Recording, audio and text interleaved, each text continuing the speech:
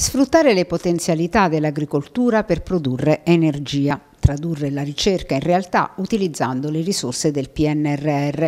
Su questo tema attuale della transizione ecologica, della sostenibilità e della semplificazione normativa, l'Università degli Studi di Teramo, in collaborazione con la Regione Abruzzo, il Comune di Tortoreto e Agena, ha presentato un progetto di ricerca triennale promotore dell'iniziativa Enzo Di Salvatore, professore di diritto costituzionale all'Ateneo Teramano. Eh, noi vorremmo inserirci diciamo così, in un dibattito più ampio, no? che vede al momento eh, la ricerca, soprattutto quella applicata, essere la, la grande favorita no? di questo PNRR, perché dramma che, al dramma che stiamo vivendo eh, la politica e le istituzioni eh, tentano di reagire reagendo ovviamente in che modo?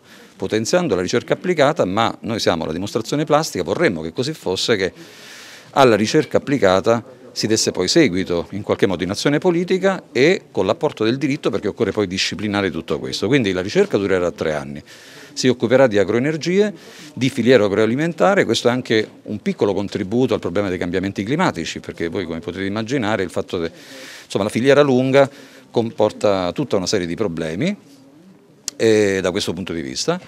E, però è soltanto un progetto che così si svolgerà per tre anni e, e speriamo che possa essere potenziato.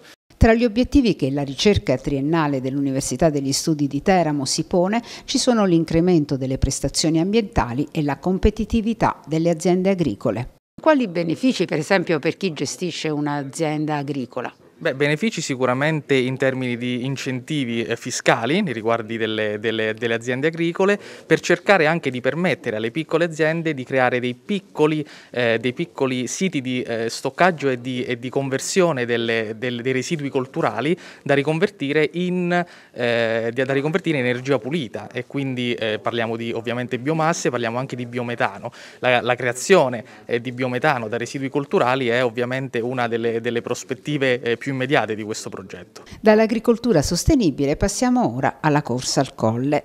Enzo Di Salvatore. Sì, perché il professor Enzo Di Salvatore dell'Università di Teramo ha ricevuto ben due voti nell'ultima votazione per eleggere Presidente della Repubblica. Lui ci scherza sopra, al colle e lui preferisce Colle Parco. Professore, ma quando ha sentito il suo nome, ecco, alla Camera dei Deputati, che ha pensato?